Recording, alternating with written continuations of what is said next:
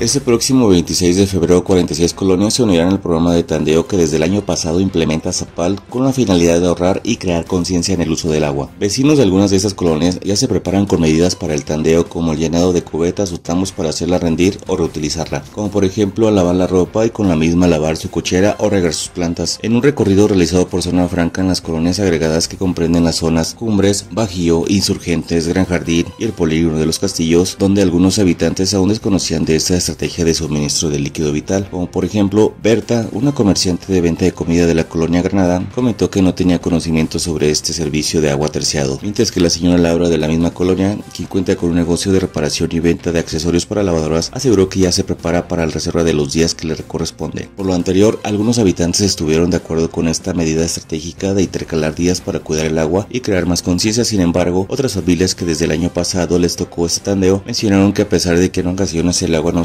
con la debida presión, el costo del recibo seguía llegando igual. Alejandro, quien tiene su negocio de venta de croquetas, semillas y cereales en la colonia Valle de los Castillos, no sabía de esta modalidad, la cual sin duda alguna afectará a él y a muchas familias ya que estarán limitados por el desabasto de líquido vital. Ana, ama de casa de la colonia San Nicolás del Palote, comentó que debido a que vive sobre el bulevar principal Paso de la Presa, el precio del agua es más caro, por lo que reconoció que no ha tenido problemas con los servicios de agua. Además, reconoció ser muy responsable y consciente del cuidado del agua, ya que desde hace tiempo la recicla.